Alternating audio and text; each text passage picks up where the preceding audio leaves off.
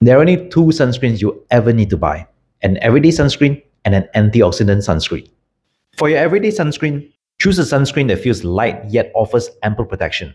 Make sure it's non greasy, blends seamlessly with your makeup, and matches your active lifestyle. It should not feel heavy. Instead, it should feel like you're wearing nothing at all. And for the days you're exposed to extra sunlight or you are suffering from suntan or sunburn, you need an antioxidant sunscreen.